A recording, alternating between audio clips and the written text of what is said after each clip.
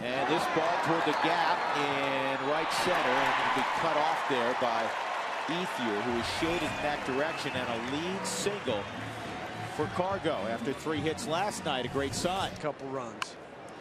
Lays down a bunt is pretty hard. Blake on the move throws it away up the line. CarGo makes a wide turn headed to second a rebase throw in the dirt safe at second.